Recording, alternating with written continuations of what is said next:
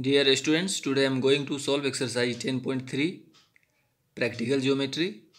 It is third part of this exercise. Question number third is to construct a triangle ABC with BC equal to 7.5 centimeter, AC equal to 5 centimeter and measure of angle C equal to 60 degree.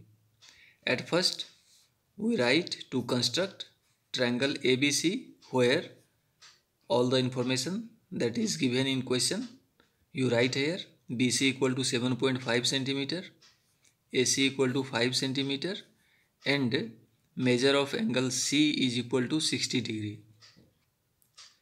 Steps of construction are written here. At first we see the construction. At first draw a line segment BC is equal to 7.5 centimeter and at C draw an angle of 60 degree with the help of protractor or by the use of compass. Take radius from C at 5 centimeter and make a arc here. Now join AB. It is a required triangle. All the steps are written above. You see here. First is Draw a line segment BC equal to 7.5 centimeter. At point C, draw an angle of 60 degree with the help of protractor as angle XCB equal to 60 degree.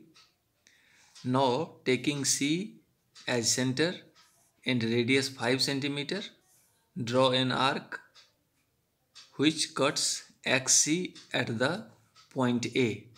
Now join AB it is the required triangle ABC.